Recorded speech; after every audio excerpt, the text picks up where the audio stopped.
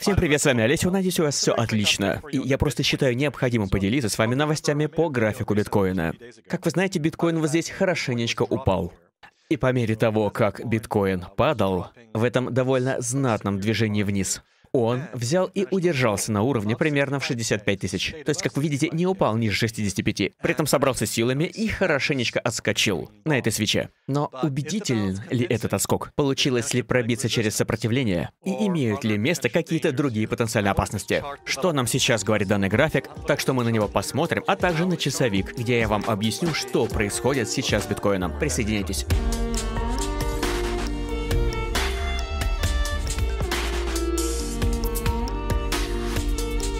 Ребятки, с возвращением, как вы, наверное, помните, всего лишь несколько дней назад биткоин падал.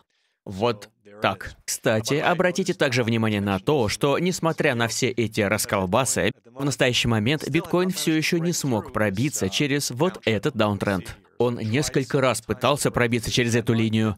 Не получилось, обломался и снова обломался. Так что обычно эти ложные пробития не являются позитивным признаком для цены. Но давайте-ка к графикам. Ага, как вы, возможно, знаете, в предыдущих выпусках я объяснял два потенциальных сценария — структуры и потенциальных волн, которые нас могут ждать. Итак, первый — желтый для графика биткоина. Я его еще называю ABC. По сути, он представляет собой следующее. Эту возможную формирующуюся структуру, которая может потенциально выглядеть в виде ABC, то есть, другими словами, это может быть волна А вниз, это волна Б, и потенциальная волна С в виде части этой плоской структуры АБЦ. Однако, возможно, вы помните, что я говорил, если это правда, то биткоин должен оставаться на 65к, очень важном уровне поддержки, и он должен преодолеть в самом минимуме, он должен преодолеть 70к. Также очень важный уровень сопротивления на верхах июня, рядом с 72к. Ничего из этого биткоин не сделал. То есть на самом деле вы можете видеть, что картина не особо радужная. Причем она была нормальная, был хороший отскок. Вот здесь посмотрите. Но мы не смогли преодолеть 70к. Мы не пробили уровень в 70к вот эту серую зону, которую вы видите здесь на графике, 70-187. Также мы не смогли преодолеть уровень в 72. К — этот уровень сопротивления. Верха, которые сформировали зону сопротивления в мае и июне. Мы их не пробили. И почему это важно? Да потому что нам нужно подтверждение. То есть вы должны понимать, как только мы делаем анализ, недостаточно просто сказать «Да, вот, пожалуйста, вот вам АБЦ». Нет, надо получить также подтверждение с пробитием сопротивления. И мы это сопротивление не преодолели, например, зону в 70-72К. То есть эта зона сопротивления в диапазоне 70-72К не пробита, несмотря на наличие отличного отскока. Вот на этой свече, вот здесь. Но с другой стороны, мы также не преодолели и 56К вниз, по крайней мере сейчас. И здесь я перехожу ко второй волновой структуре, красной и более медвежьей, которые нумеруются 1, 2, 3 и направлены вниз. То есть, другими словами, если у нас имеет место волны 1, 2, 3 вниз, вот 1, 2, 3, то с третьей волны мы пойдем значительно ниже. И, между прочим, это движение также потребует подтверждения при пробитии поддержки около 56к. Также важно, что поддержка не пошла выше. Уровень поддержки теперь не попросту 56к. Он на самом деле вот эта красная линия на 66 тысячах. То есть это новый уровень поддержки, который биткоину следует удержать. Недавние низы, которые получились на уровне примерно 66к. Итак, это новый уровень поддержки для биткоина, который ему стоит удержать, чтобы избежать крупного провала вниз. Потому что если биткоин пойдет ниже 60 до 65к, то это увеличит значительно вероятность красного сценария волн с потенциальным движением на гораздо более низкие уровни, в минимальном случае до низов мая. Так что давайте посмотрим, удержится ли биткоин выше 65-66 тысяч, а желательно 66к. Но есть еще кое-что, что меня очень сильно беспокоит и смущает. Если мы спустимся на более мелкий таймфрейм, это часовой график биткоина, то видим кое-что волнительное. Только что я говорил о недавнем отскоке, который мы видели у биткоина. Это было в среду, и он не был убедительным. И вы видите вот почему. Вы видите, что отскок, который у нас получился, представлял из себя, я его представлю в разных цветах. Этот отскок состоял из трех волн. У нас было три волны вверх, и, как вы знаете, три волны имеют природу корректирующую, а не импульсную.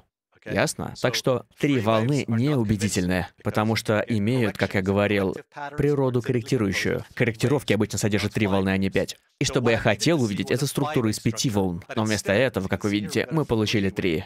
Вот такую структуру. И что еще хуже, Падение, которое мы видели после этого отскока, теперь перекрыл предыдущую волну вот здесь. Как вы знаете, волны 4-5 не должны перекрываться, за исключением некоторых диагональных структур. Но, как вы знаете, диагональные структуры не особо надежные. Так что, как видите, недавнее падение, особенно сегодняшнее, теперь перекрывает это предыдущее движение. И, что еще хуже, это падение является импульсным.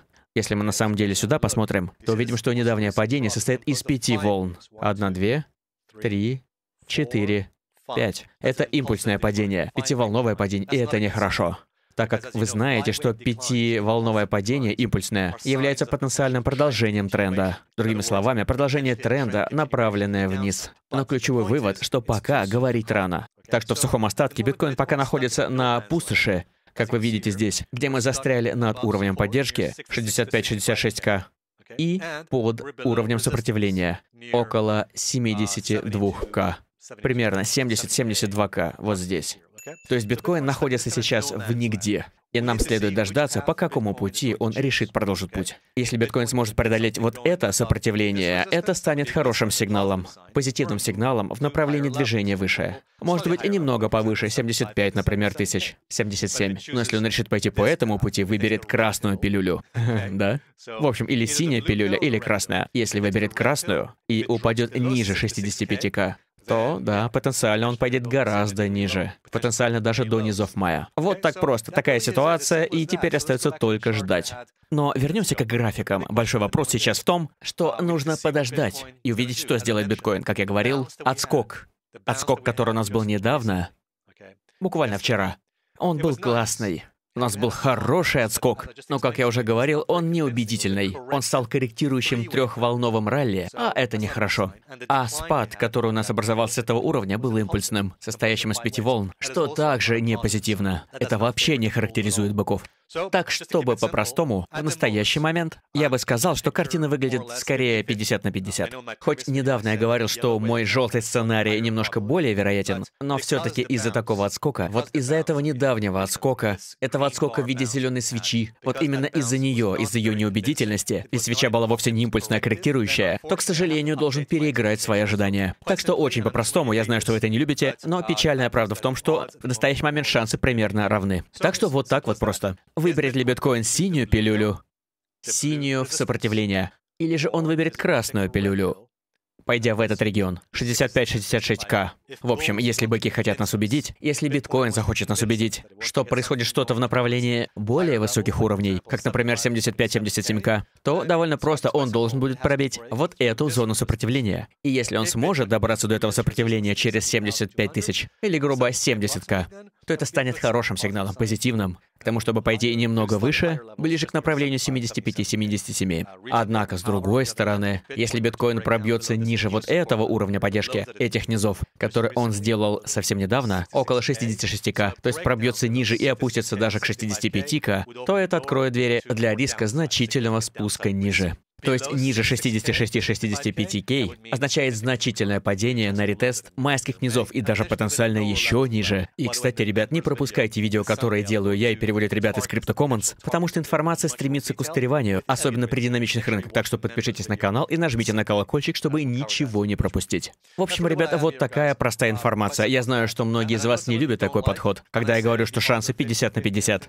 Но правда, ребят, в том, что графики есть графики. И если они показывают большую вероятность по определенным паттернам, то я вам скажу, но этого сейчас нет. Кстати, некоторые из вас спрашивали меня, Олесио, слушай, а если фондовый рынок пойдет через значительную коррекцию в ближайшие несколько недель, что я думаю вероятно? А, ребят, я об этом поговорю уже скоро. Да, определенно, если фондовый рынок пойдет через серьезную основательную коррекцию, что я думаю очень вероятно в ближайшие недели, то, конечно же, это дополнительно будет давить на биткоин. Ведь между ними есть позитивная корреляция. Я об этом расскажу. В общем, все, ребятки, большое спасибо, что посмотрели. И на самом деле, подпишитесь на канал CryptoCommons, ребята для вас очень сильно стараются. А я вас крепко обнимаю. Всем пока, увидимся.